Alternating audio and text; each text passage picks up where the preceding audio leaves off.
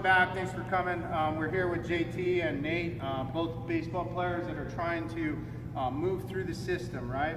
And we're talking a little about the harness and, and what it accomplishes for a hitter or pitcher. If we break that down, guys, bottom line is this. You are trying to move energy into a baseball pitch. You are trying to move energy into your bat and then into the baseball, right? The guy who moves up is the one who is most efficient with energy movement throughout their kinetic chain reaction, as well as the one who has the most power and, and velocity and that kind of stuff, which is tools, right? But at the end of the day, when you break it down organically to the most organic level, it is energy movement, right? How do you take an energy load or create a load, support it, and then use it at the right time, right? Three things, create, support, and use it. And that's essentially, guys, how we have built the VL harness, right? On human movement, because that's what athletic movement is built upon. So if we look at human movement, I'm gonna break it down really simple in layman's terms here. Obviously, we can get really scientific, but we're not right here. But in human movement, when we're just walking, because that would be the slowest um, aspect, or one of the slowest aspects of creating energy, supporting it, and then using it, right? And then if we move that quicker and quicker, then we can put it into um, sports or athletic movement. So when I walk, if I walk this way and, and I push energy before my heel gets into the ground, right? And that's basically moving forward.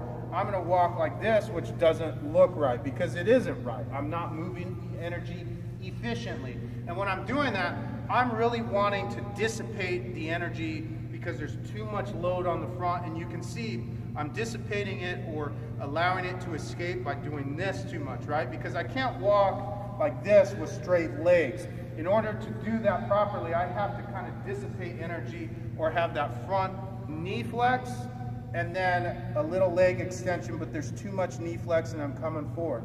So I'm creating energy, but I'm not supporting it. So how do I support it? Is I go heel plant first and then use the energy. Plant first, use the energy, right? So that's how we walk, right? A person that walks properly is create, support, use, right? Create, so it would be create, support, use. Create, support, use. It's really hard to do it slow, but if we do all right, everybody's seen somebody walk. This is how we walk. Guy, people who have issues with knees, a lot of times are starting to bend forward too much, right? Because it creates a lot of pressure. So that would be the idea in your kinetic chain reaction.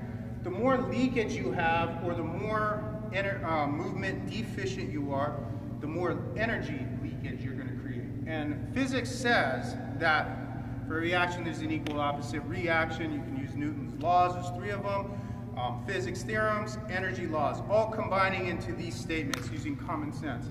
If I create and if I create energy, right, which would be my load, but I don't support it, there's too much load going on right here. So what do I have to do? It's going to subconsciously have to be dissipated or escaped. That is a physics theorem, right? How does it do it? Physics theorem also says if um, energy is going to escape, it's going to escape in an opposite move, right? An opposite reaction, which we all know in kinesiology, if we have too big of an energy load in our, in our, in our kinetic chain reaction, it's going to be this way on a horizontal that is premature. So it'd be this guy right here.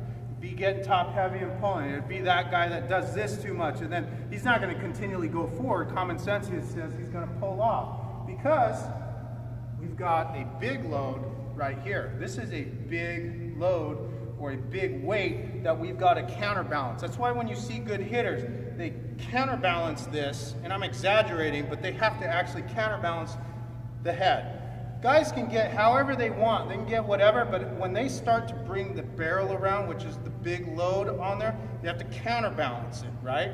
Every action, there's an opposite and equal reaction. From pitching, same thing. I can't get here and continually go forward. I've got to actually counterbalance that, right? I can come forward, but I've got to counterbalance at some point, which would be out front, head back, okay?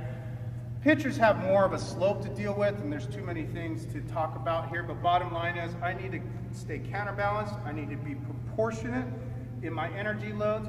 and I have to create balance force, all right? Balance force is this one thing. Think a tug of war, okay? One guy pulling, one guy pulling. Same thing, we're pulling, pulling, pulling. At some point, someone lets go, and then there's explosive power that way, right?